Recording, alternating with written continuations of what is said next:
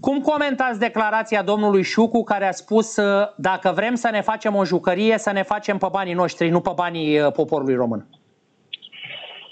Mai eu îl înțeleg pe domnul Șucu. Uh, mă, mă bucur că este un om care a investit în, în fotbal.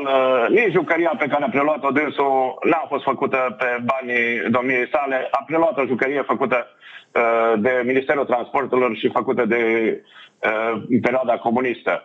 Uh, deci, uh, brandul Rapidului e un brand fantastic, un public, un public extraordinar uh, și galeria lor, până la urmă, este în acest moment, într-adevăr, și am tot respectul pentru domnul Șucu, dar am chiriat în acest moment mai degrabă un brand, deci nu l-a făcut domnia sa. Tot respectul pentru că bagă banda nu cred că are dreptate în totalitate. Și mai e ceva, aici putem să discutăm și de faptul că înainte de domnul Șucu uh, au fost și niște bani veniți de la primărie, nu? Sau cel puțin teoretic erau niște bani veniți de la domnul Tudorache, de la domnul Tudorache, mă rog, de la primărie, că nu-i dădea. Dacă într-adevăr s-au dat bani, dar parcă așa știu că au, a fost un sprijin, deci cu bani de la buget, cum ar veni.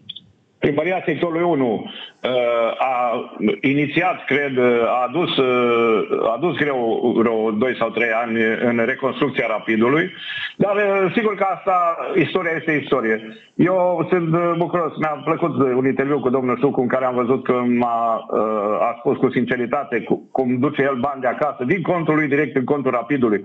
Pentru oamenii ăștia am tot respectul, chiar dacă câteodată poate exagerează, mă rog, sau au o părere uh, diferită.